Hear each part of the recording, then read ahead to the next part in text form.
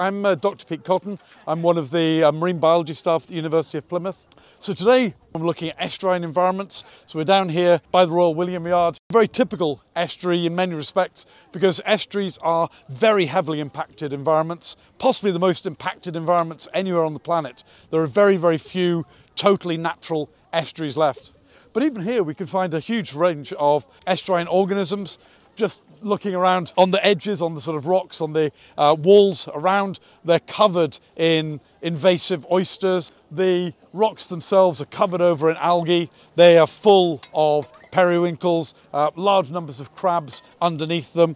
Um, and indeed, once we look a bit more, we're finding a large number of different annelids, uh, polychaete worms and things all of these organisms typical of what we would find within estuarine environments. The students largely are playing around in the mud, experiencing how we sample muddy environments, seeing these organisms and hopefully having fun. There's nothing better than being a, a marine biologist getting out in the field and messing around in the mud or turning over rocks.